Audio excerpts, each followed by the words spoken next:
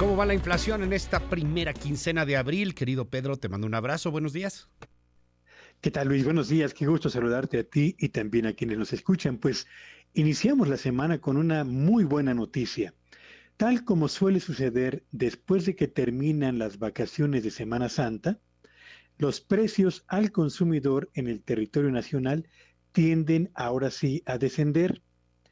Por eso es que el INEGI ha informado hoy muy temprano que en la primera quincena de este mes de abril, la canasta de productos y servicios que se consumen habitualmente en el territorio nacional registró un retroceso en sus precios, Luis, del 0.16%.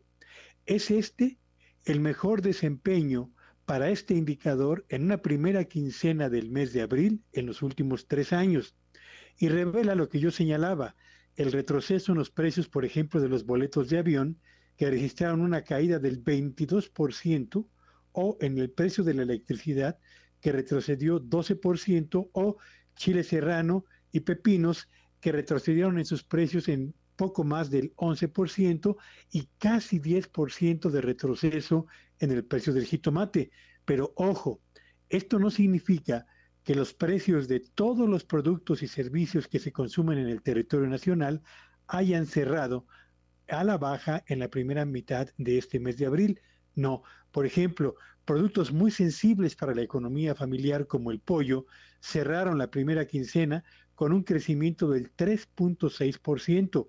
La naranja se incrementó casi 8%, el limón se encareció más del 5% y el huevo, una proteína animal muy importante para la dieta de los mexicanos, aumentó más de 1% en los primeros 15 días de este mes de abril.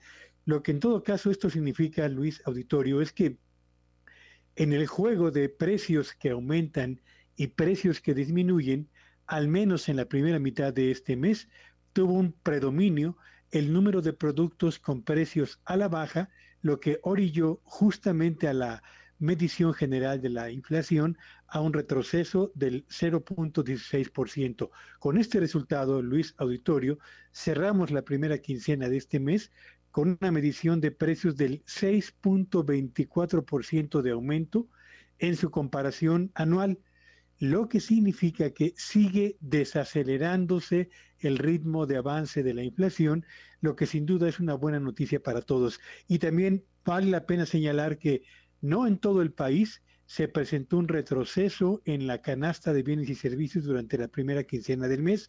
Por ejemplo, en Chihuahua, en Colima, en la Ciudad de México, en Aguascalientes y en Tlaxcala, los precios de los bienes y servicios cerraron con un incremento que osciló entre el 0.13% en el caso de Tlaxcala hasta un, eh, una carestía del 0.28% en el caso de Chihuahua. Así que arrancamos la semana, Luis Auditorio, con una buena noticia. La inflación sigue desacelerándose y ojalá que esa sea la trayectoria que marque su desempeño en lo que resta del año. Gracias, querido Pedro. Te mandamos un abrazo y te seguimos en tu red. Sígueme en Twitter en arroba Petello Villagrán y que tengan un espléndido inicio de semana. Igualmente, querido Pedro, muchísimas gracias.